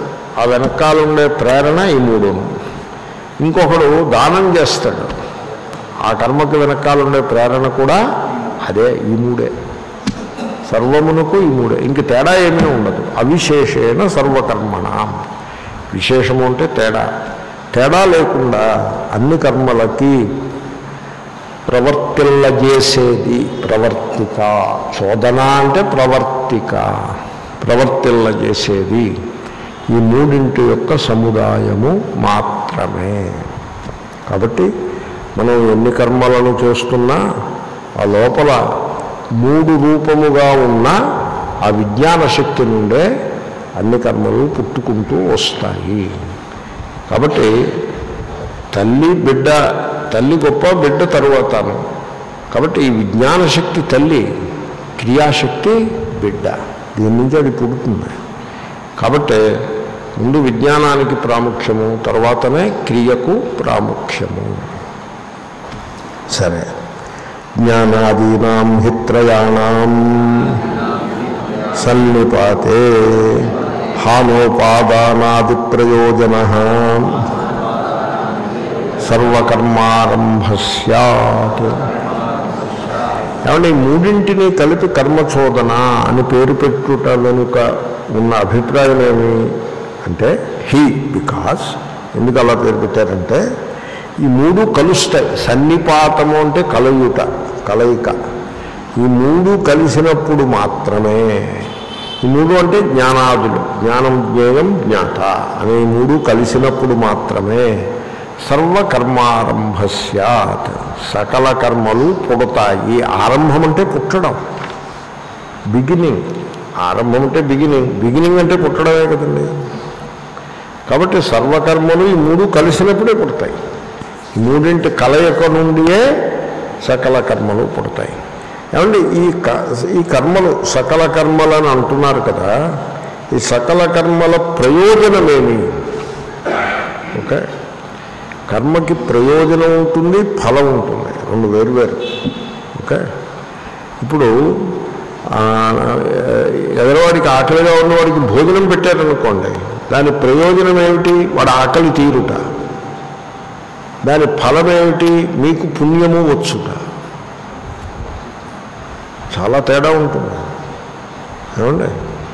దాహం వేస్తే మంచినీరు తాగుతారు. అది ప్రయోజనం.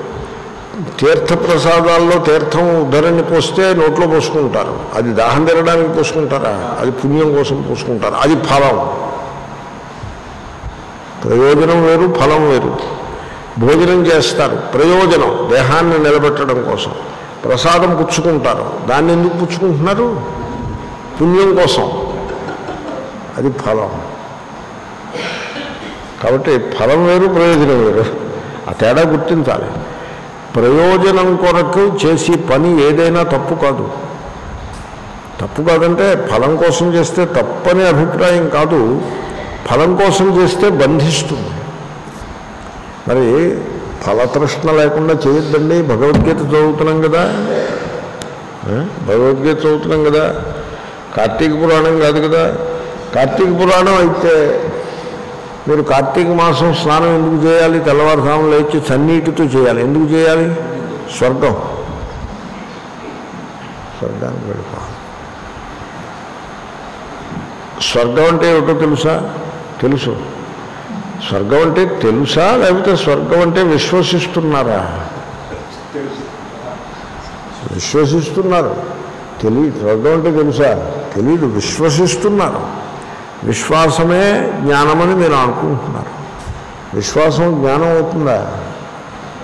ఇప్పుడు మీకు ముక్కు ఉన్నది ముక్కు ముక్కు ఉన్నది కదా ఉన్నది అని మీరు విశ్వసిస్తున్నారా లేకపోతే మీకు తెలుసా? మీకు తెలుసు. విశ్వసించక్కర్లేదుగా ముక్కు తెలుస్తుందిగా. కాళ్ళు ఉన్నవి విశ్వాసమా తెలియటయా? తెలియట? స్వర్గము చాలా అందంగా బాగుంటుంది. ఇది విశ్వాసమా తెలియట విశ్వాసం. రెండింటికి తేడా లేదు. కాబట్టి సాధారణంగా ప్రయోజనం అంటే దృష్టంగా ఇప్పుడు ఇక్కడ ఉంటుంది ఫలం అంటే ఎప్పుడో ఎక్కడో ఉంటుంది. ఎప్పుడో ఎక్కడో వచ్చే ఫలానికి వీడు కర్మ చేస్తాడు. ఇప్పుడు ఇక్కడ ప్రయోజనాన్ని పట్టించుకోడు. నువ్వు ప్రయోజనం కోసం కర్మ చేయి ఫలం కోసం చెయ్యకు. అని శ్రీకృష్ణుడు చెప్పాడు. దాన్ని ఇటు తిప్పి అటు తిప్పి ఏదో గడబడి చేసి పెడతారు జనాలు బట్ ప్రయోజనం కోసం కర్మ చేయాలి. ప్రయోజనం రెండు రకాలు. ఒకటి దూరము పెట్టుట రెండు దగ్గరికి తెచ్చుకునుట. హాన అంటే దూరము పెట్టుట ఓహాక్ త్యాగే. ఇప్పుడు మీరు ఈ ఫ్లూ ఇంజెక్షన్ తీసుకుంటారు. ఫ్లూ షాట్ అని అంటారు. దాని ప్రయోజనం దాని ప్రయోజనం ఏమిటి? ఫ్లూ వ్యాధిని దూరము పెట్టుట వ్యాధి వచ్చాక తీసుకుని చెప్పట్లేదు నేను. ఫ్లూ షాట్ రాకముందు తీసుకుంటారు. ఇండియాలో తక్కువ తీసుకునే వాళ్ళు తీసుకుంటారు. తర్వాత కడుపు భోజనం చేస్తారు. అక్కడ భోజనాన్ని తీసుకుంటారు లోపలికి తీసుకుంటారు. దేనికోసమని? ఆకలిని దూరం పెట్టడం కోసం భోజనం చేస్తారు. సో దగ్గరికి తీసుకొనుట ప్రయోజనమైనప్పుడు దాన్ని ఉపాదానము అంటారు. ఉపాదాన ప్రయోజన. దూరము పెట్టుట ప్రయోజనమైనప్పుడు హానము. రోగమును దూరముగా పెట్టుట. అది హానమనే ప్రయోజనము. ఆరోగ్యమును పొందుట అనేది ఉపాదానమనే ప్రయోజనము. ఎప్పుడు కూడా మన ప్రయోజనములు ద్వివిధముగా ఉంటాయి.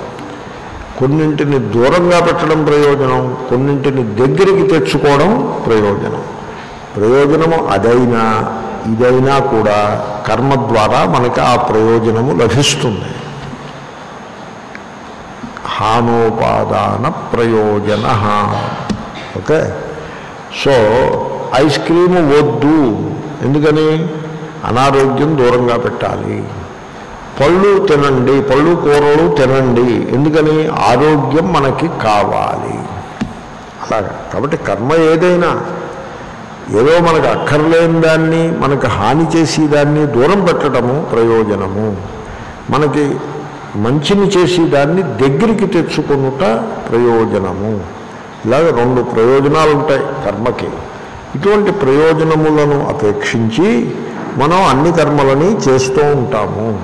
ఈ ఇటువంటి కర్మలన్నీ కూడా హానము కొరకు ఉపాదానము కొరకు ఉద్దేశించబడే కర్మలు అన్నీ కూడా ఆ సన్నిపాతము నుండి అంటే మూడింటి కలయక నుండి పుడుతూ ఉంటాయి.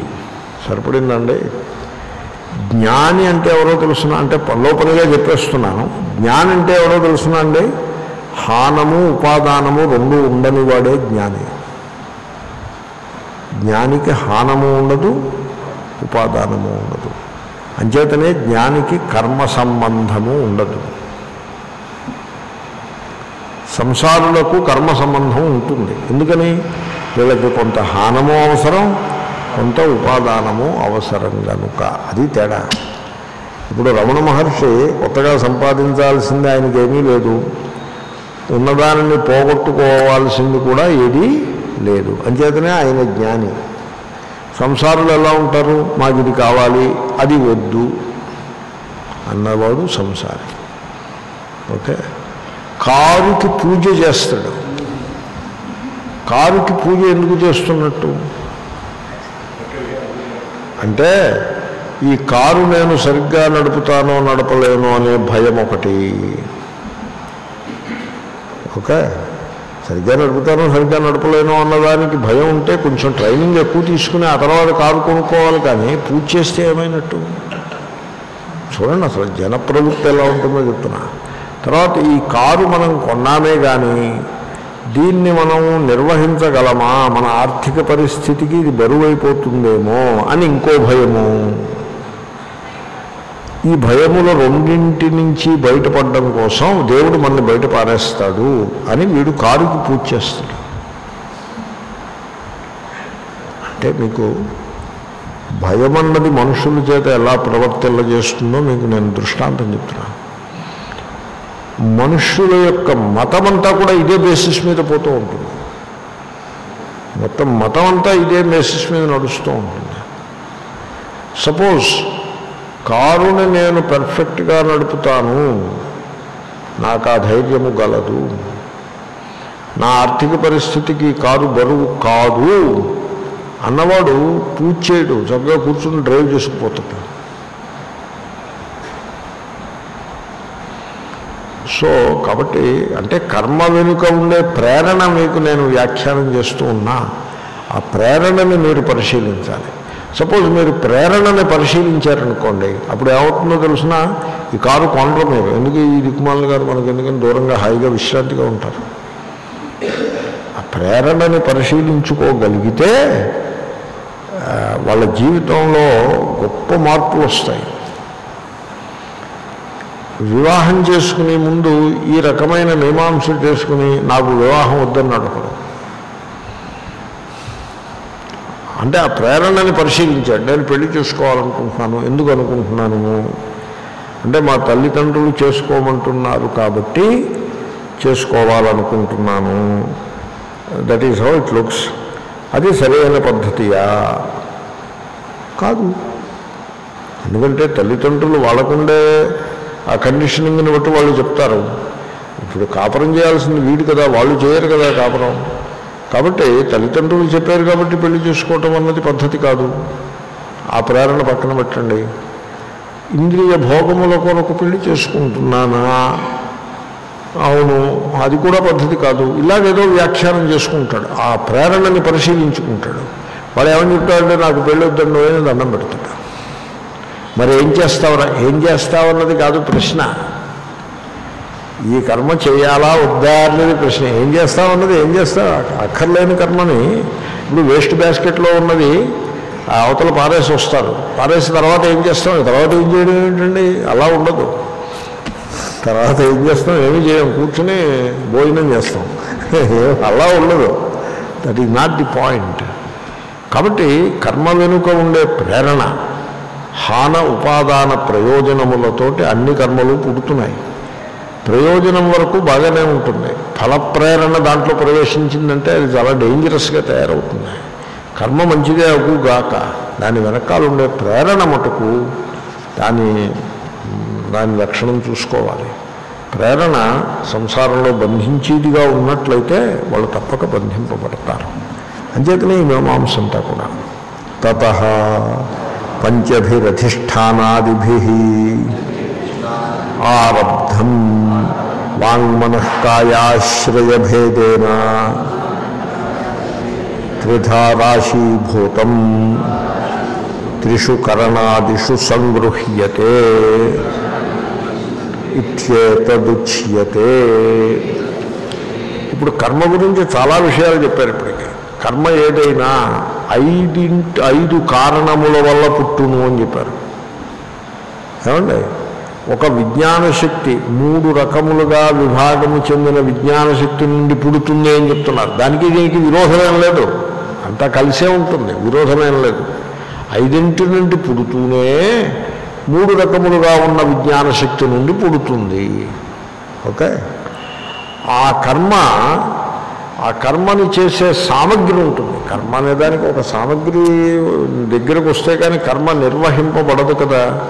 కాబట్టి కర్మను నిర్వహించే సామగ్రి. పైగా ఆ కర్మ వాగ్రూపమైన కర్మ మనస్సుతో చేసే కర్మ దేహంతో చేసే కర్మ అనే ఆశ్రయ భేదాన్ని బట్టి వాక్కు ఆశ్రయముగా గల కర్మ. ఇప్పుడు పాఠం చెప్తున్నాను అనుకోండి ఇదేం కర్మ ఇది వాగ్రూపమైన కర్మ.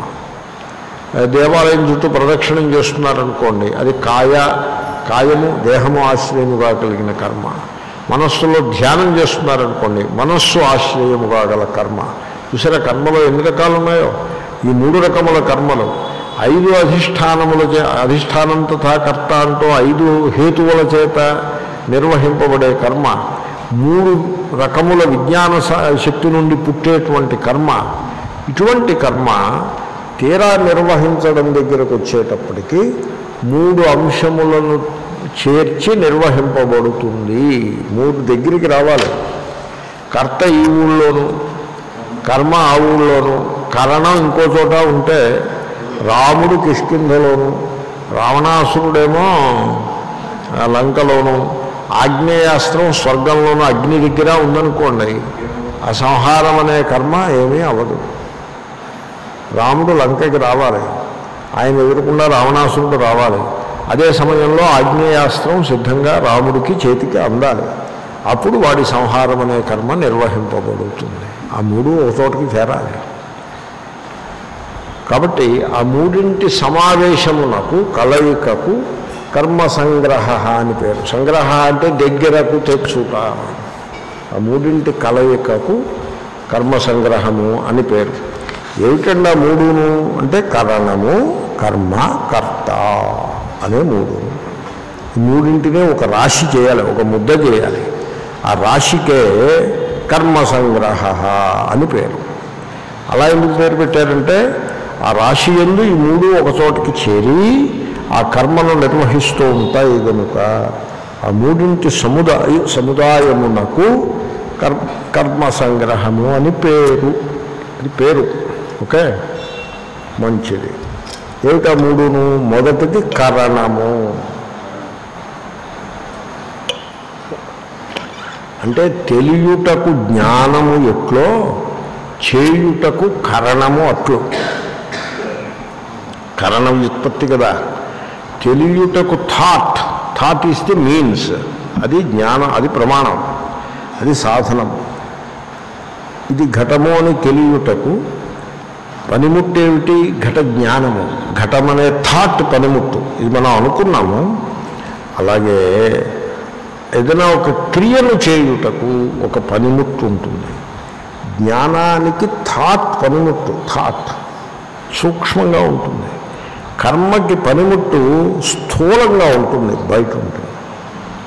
ఎందుకంటే కర్మ స్థూలము జ్ఞానము సూక్ష్మము కనుక కాబట్టి కారణము. ఓకే? రెండవది కర్మ. ఆ, దేని ఎందు ఈ క్రియను మీరు ఆచరిస్తారో ఆ కర్మ. మూడవది ఈ ఉపాధిల ఈ శైలో ఈ ఉపాధితో పెట్టుకున్నాడు వీడు కర్త. మూడు. కర్త అంటే అహంకారమునకే కర్త అని పేరు. అహం కరోమి ఇత్యహంకార. ఓకే? ఇప్పుడు మీరు కర్మ చేసేప్పుడు మనస్సుతో చేస్తారు వాక్కుతో చేస్తారు కాయముతో చేస్తారు. కాబట్టి ఇవన్నీ కూడా కరణములు అవుతాయి. కర్మను చేయుటలో మనస్సు వాక్కు కాయము ఇవన్నీ కరణములు అవుతూ ఉంటాయి. చూద్దాం. కరణం క్రియతే అనేనా అని వ్యుత్పత్తి. దీనితో చేస్తాము. కాబట్టి దానికి కారణము అని పేరు. పనిముట్టు ఏమిటి పనిముట్టు ఇది బాహ్యం శ్రోత్రాది అంతస్థం బుద్ధ్యాది. అని ఇప్పుడు మీరు ఏదైనా కర్మ చేసినట్లయితే ఆ కర్మలో ఐదు కర్మేంద్రియములు ఉంటాయి. చేతులు కాళ్ళు వాక్కు ఈ విధంగా కర్మేంద్రియములు ఉంటాయి. ఈ కర్మేంద్రియములు తమంత తాము పని చెయ్యలేవు. వాటికి జ్ఞానేంద్రియములు తోడు కావాలి. చేత్తో పట్టుకోవాలంటే కన్నుతో చూడాలి. ఏమండి? చేత్తో పట్టుకోవాలంటే చెవితో వినాలి. ఒకప్పుడు చూస్తారు ఇంకొకప్పుడు వింటారండి. పువ్వు చేత్తో పట్టుకోవాలంటే ముక్కుతో ఆఘ్రానించాలి లడ్డు చేత్తో పట్టుకోవాలంటే నాలుకతో ఆస్వాదించగలగాలి. సెంటు సీసా చేత్తో పట్టుకున్నారంటే చర్మముతో దాన్ని చెంటు సీసా కాదు లేకపోతే క్రీము చల్లగా ఉండే క్రీము. ఆ క్రీమ్కి స్నో అని పేరు. మా చిన్నప్పుడు స్నో అంటే ముఖానికి అమ్మాయిలు రాసుకునే ముద్ద అని మేము అనుకునేవాళ్ళం. అది మా జ్ఞానం అలా ఉండేది. స్నో అంటే అది ఐస్ మంచు. ముఖానికి రాసుకునే ముద్ద స్నో కాదు మంచు. ఈ సంగతి నాకు డిగ్రీలో తెలిసింది. మాకు తెలిసి స్నో అంటే ఓ ఇంత సీసా ఉంటుంది. పెద్ద విశాలమైన మూత. దాని లోపల తెల్లటి ముద్ద ఉంటుంది. ధనవంతుల అమ్మాయిలు ఆ సీసాలోంచి ముద్ద తీసుకుని ఇలా ఇలా రాసుకుంటారు. అది స్నో. మా- నా జనరల్ నాలెడ్జ్ ఎలా ఉందో చూడండి. తర్వాత ఎప్పుడో తెలిసింది. స్నో అది కాదు. అది గురికే వీళ్ళు స్నో అని పేరు పెట్టుకున్నారు. స్నో అంటే పైనుంచి పడేది స్నో అని తర్వాత ఎప్పుడో తెలుసుకున్నాను నేను అన్నీ తెలుసుకునేప్పటికి జీవితం అయిపోయింది ఓ కవి అన్నాడు నా జీవితం అనే రైలు ఒక జీవిత కాలము లేటు అని. అంతా లేటే. అన్నీ లేటే. మొత్తానికి సో బాహ్యేంద్రియములు చెవి మొదలైనవి.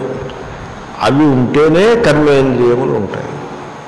మీరు ఎప్పుడైనా ఒక మనిషి ఈ ఐదు ఇంద్రియములు అన్నీ లేనివాడిని ఎవడైనా మీరు చూసారా మీరు? చూసి ఉండరు. కళ్ళు లేని వాళ్ళు ఉంటారు.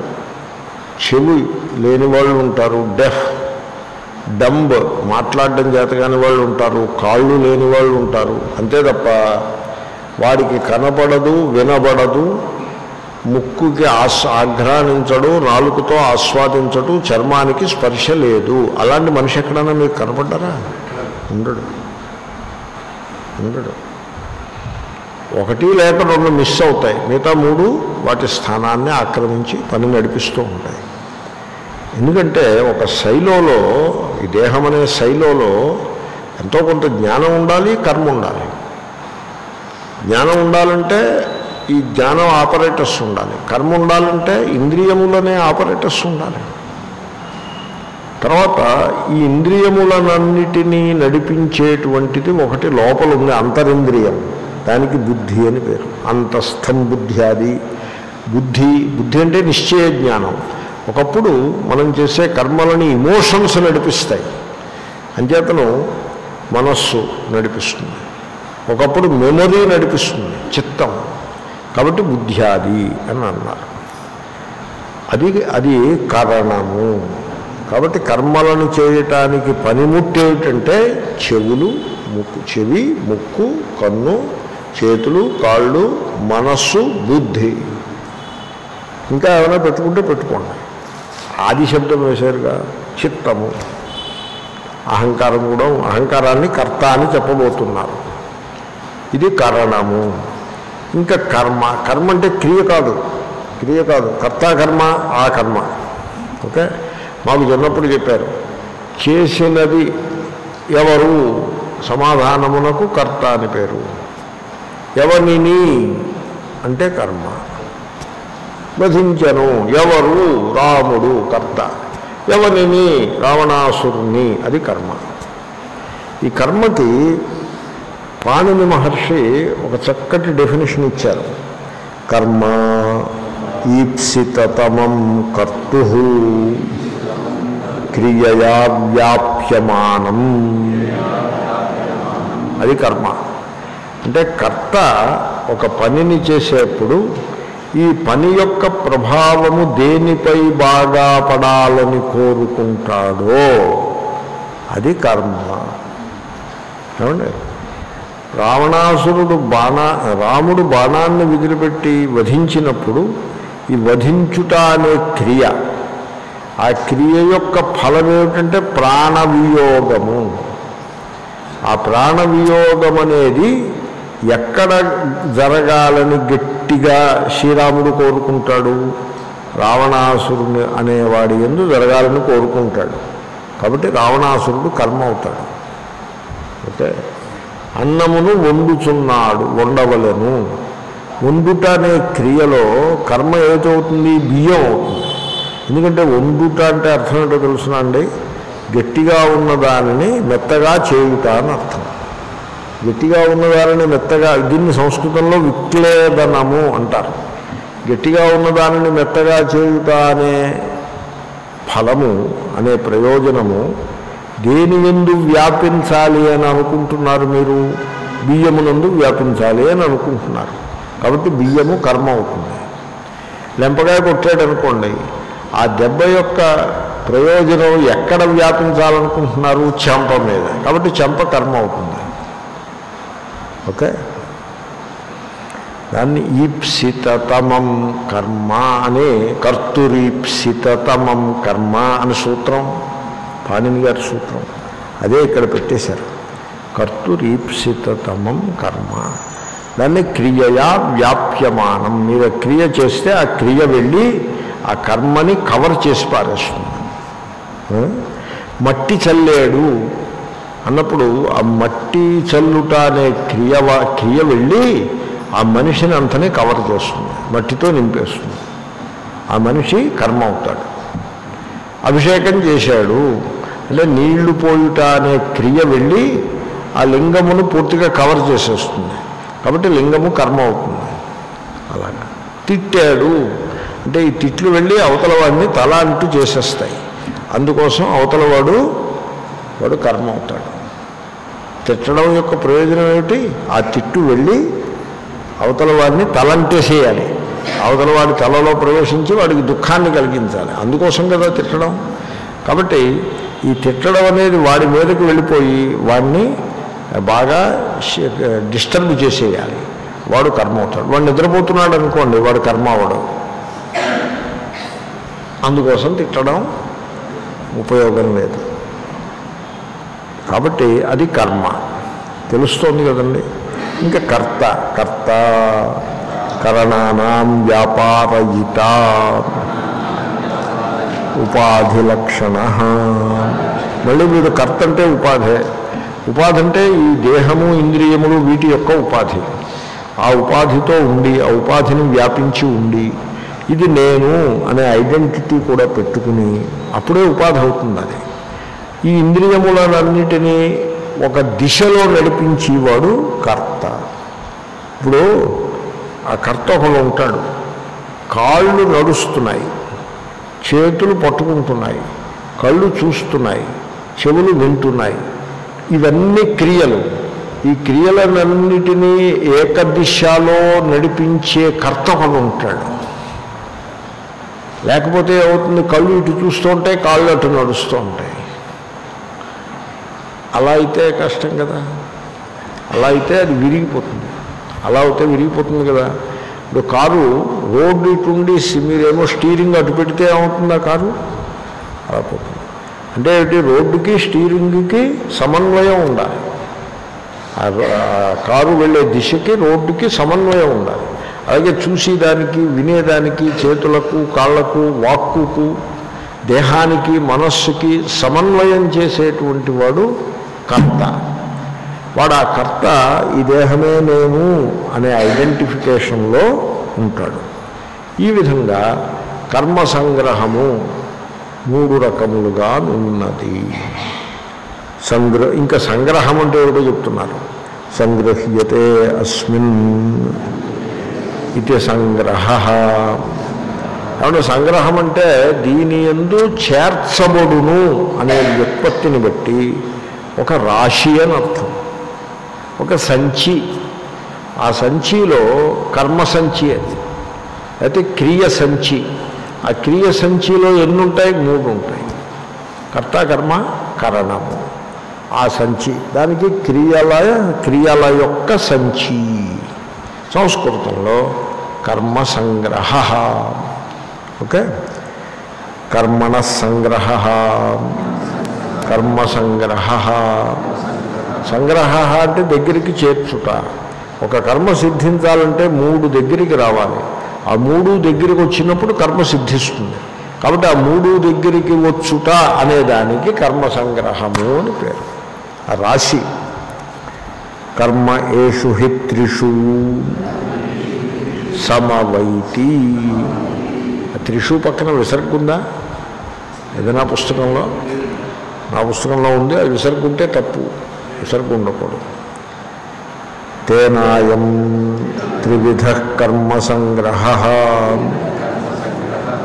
కర్మ సంగ్రహ అని పేరు ఎందుకు పెట్టారంటే హీ బికాజ్ త్రిషు ఏషు త్రిషు కర్మ సమవైతి. సమవైతి అంటే విడదీయరాని విధముగా కలిసి ఉంటుంది. సమవాయ సంబంధం.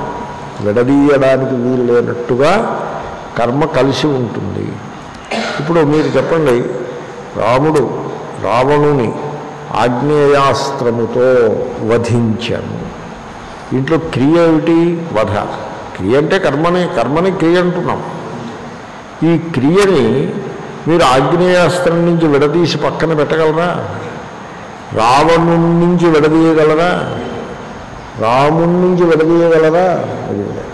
అంటే రామునితో ఆగ్నేయాస్త్రంతో రావణునితో విడదీయలేని విధముగా ఈ క్రియ కలిసి ఉన్నది. ఓకే?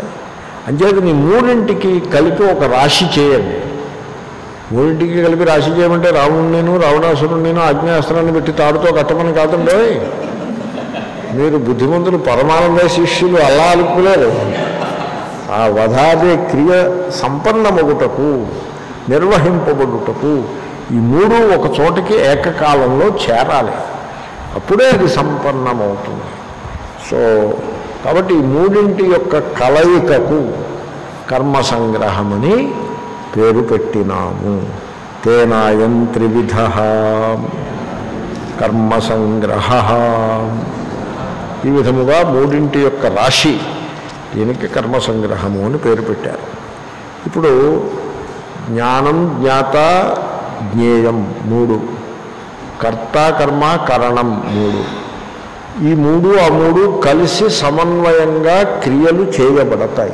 ఆ పై మూడు బాగుంటే కింద మూడుతో కూడిన కర్మ పుట్టుకొస్తుంది ఆ పై మూడు నుంచి. ఓకే? ఇప్పుడు మీరు చెప్పండి ఆ పై మూడు సాత్వికంగా ఉండాలా రాజసంగా ఉండాలా తామసంగా ఉండాలా? సాత్వికంగా ఉండాలి. కింద మూడు ఎలా ఉండాలి? సాత్వికంగా ఉండాలి. పై మూడు సాత్వికంగా ఉండి కింద మూడు సాత్వికంగా ఉంటే ఆ కర్మలు పవిత్రమైన కర్మలు వీడిని బంధ విముక్తుల్ని చేస్తాయి. పై మూడింట్లో రజోగుణము తమో గుణము ప్రవేశించి కింద మూడింట్లోకి ఆ రజోగుణ తమో గుణాలను తీసుకొస్తే వాడు సంసారంలో బంధింపబడతాడు. ఇది చెప్పుట కొరకై మూడు మూడుగా విడగొట్టారు. ఓకే? పై మూడులో ఒక్కటి చెప్తే మూడు చెప్పినట్టే అవుతుంది. కింద మూడులో రెండు చెప్తే అన్ని మూడు చెప్పినట్టే అవుతుంది. ఆ తేడా ఏమిటి? ఆ గుణములు ఎలా వాటి ఎందు ప్రవేశిస్తాయి? ఈ వివరముల కొరకు రేపు సాయంకాలము వరకు వేచి ఉండగలరు. రేపు తర్వాత శ్లోకం ఓం పూర్ణముద పూర్ణమిదం పూర్ణాత్ పూర్ణముద్యతే पूर्णस्य पूर्णमादाय पूर्णमेवावशिष्य ओम शांति शांति शांति ही ओम त्र्यंबक यजामहे सुगन्धिं पुष्टिवर्धनम्। द्वारुकमिव